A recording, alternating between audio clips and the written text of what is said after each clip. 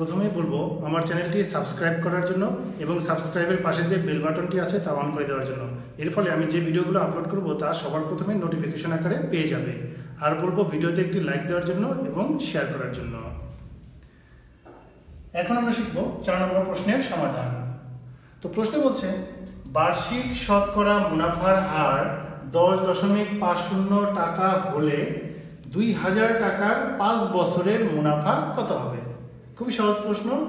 মুনাফার হার যদি দেওয়া থাকে, তাহলে আমরা কি বুঝি? সেখানে কি দেওয়া থাকে? একশো টাকার এক বছরের মুনাফা। মুনাফার হার মানেই হলো একশো টাকার এক বছরের মুনাফা। তো আমাদের দুই হাজার টাকার পাঁচ বছরের মুনাফা কত? ঐকিক নিয়ম, তিন লাইনে অঙ্কটা শেষ হয়ে যাবে। তাহলে আমরা প্রথমে লিখে নিব, বার্ষিক শতকরা মুনাফার হার দশ দশমিক পাঁচ শূন্য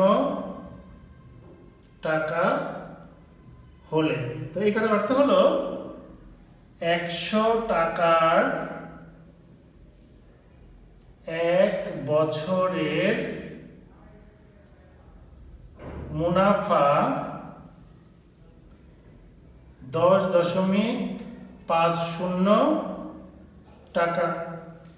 সুতরাং, তো একশো টাকা আছে এরপরে কি করতে হবে? কি নিয়মে এক টাকার এক বছরের মুনাফা। তো এক টাকার মুনাফা তো বেশি হবে না। এই জন্য ডান দিকের সংখ্যা থাকবে উপরে আর বাম দিকের এই একশো আসবে নিচে। সুতরাং আমাদের কি বের করতে বলছে? দুই হাজার টাকার পাঁচ বছরের মুনাফা।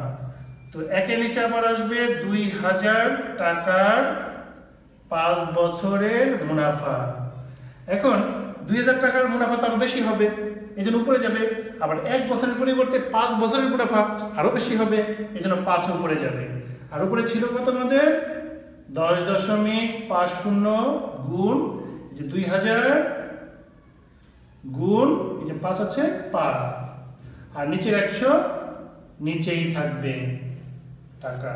ইকুয়াল টু এখন ক্যালকুলেটর ব্যবহার করে তাড়াতাড়ি করে করে ফেলবা। ক্যালকুলেটর অন করে কি লিখতে হবে প্রথমে? দশ দশমিক পাঁচ শূন্য। এটা লিখবা, তারপরে গুণ, কত আছে? দুই হাজার। দুই হাজার গুণ, তারপরে কত আছে উপরে? পাঁচ। আর কিছু সংখ্যা আছে? নাই। তিনটা লেখার পরে ইকুয়াল টু তারপরে ভাগ ভাগ দিয়ে কত লিখতে হবে? একশো আছে নিচে? একশো। ইকুয়াল টু কত রইল? এক হাজার পঞ্চাশ। তাহলে এখানে লিখতে হবে এক হাজার পঞ্চাশ টাকা। তো পাঁচ বছরের মুনাফা কত হবে? দুই হাজার টাকার এক হাজার পঞ্চাশ টাকা। এটাই উত্তর। আশা করি বুঝতে পারছ সবাই।